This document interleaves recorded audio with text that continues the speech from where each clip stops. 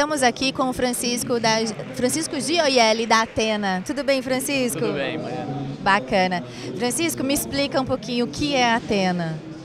A Atena é uma solução para expor o, os produtos de um e-commerce online nas lojas offline, ou seja, ele ajuda a um e-commerce a fazer vendas nas lojas físicas.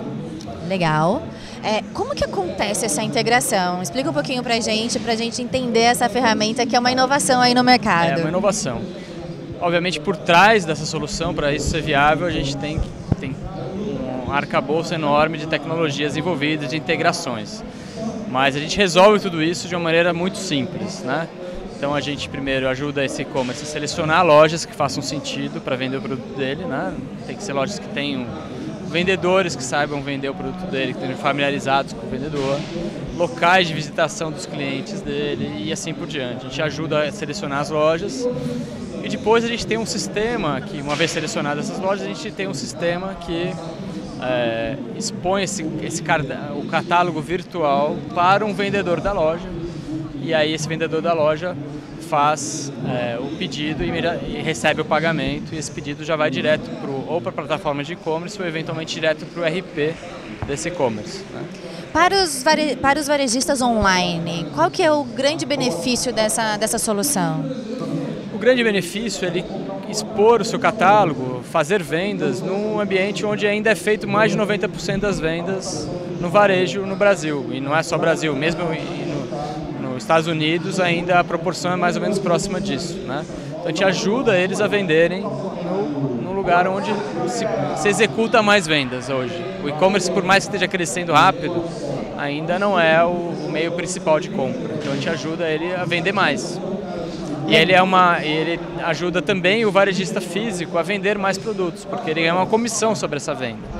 Né? Então esse é um ganha-ganha e o cliente final também tem uma boa experiência porque ele vai numa, numa loja e ele consegue ter a experiência completa. Então ele vai com uma loja de sapato e já sai com o sapato e a meia que vai chegar para ele pelo correio dali a alguns dias. Alguém que vai comprar, vai numa agência de viagem, de turismo, já sai com um chip de dados que vai ser entregue pelo correio para ele, por exemplo, chip para ele usar na viagem, né? E ele comprou na agência de turismo que não tinha um estoque ali de chips existe um diferencial ali por trás, né? Que vocês estão suprindo uma dor do mercado. É, qual seria essa dor, assim?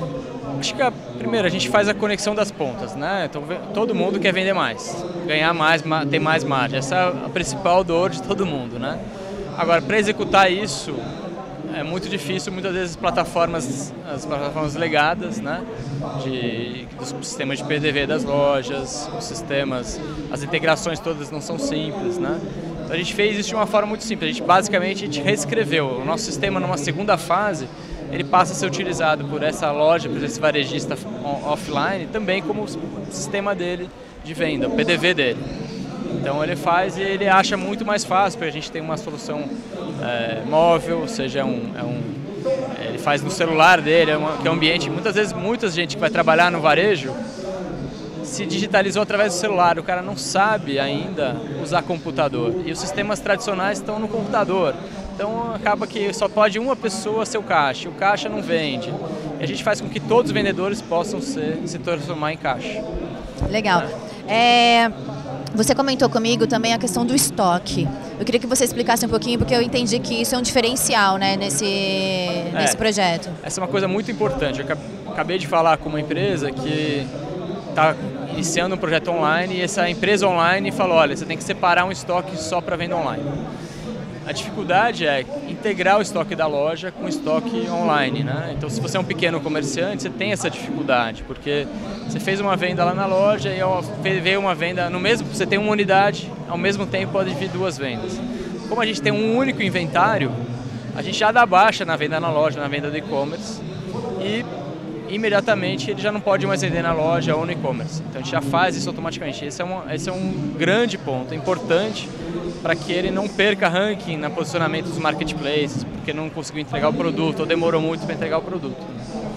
Quem pode ter essa solução hoje no mercado? Hoje qualquer, qualquer, basicamente qualquer comércio eletrônico, a gente faz uma avaliação técnica se a plataforma que ele está usando é compatível né, com com integrações, né? Ele pode ser mesmo uma solução super aberta, pode ser que a hospedagem dela não abriu as APIs, por exemplo. Então a gente faz esse estudo. E no caso dos varejos, basicamente a gente está hoje nosso foco é Estado de São Paulo por questões fiscais. A gente tinha um RP, a gente emite cupom fiscal, DANF, etc, nota, nota fiscal eletrônica. Mas hoje o nosso foco é o Estado de São Paulo. Entendi. E como que eu contrato essa ferramenta? Como ela é disponível através de assinatura? Como que é o modelo dela para quem tá. tiver interesse? Para o e-commerce, a gente cobra uma pequena consultoria, que é para a gente achar, ajudar a achar as lojas. Se não precisar ajudar, já tem as lojas, essa consultoria baixa de custo. E a integração, eventualmente, com o sistema dele, né? esse ajuste. E também a capacitação dos vendedores na loja, e produção de algum material de merchandising, um cartaz, para alguma coisa para anunciar para os clientes que eles têm, que ele, aquele produto é vendido lá naquela loja também, né?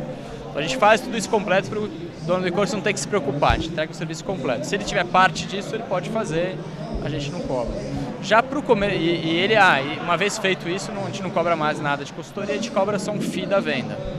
A gente ganha junto com ele. Na performance da venda. Performance da venda.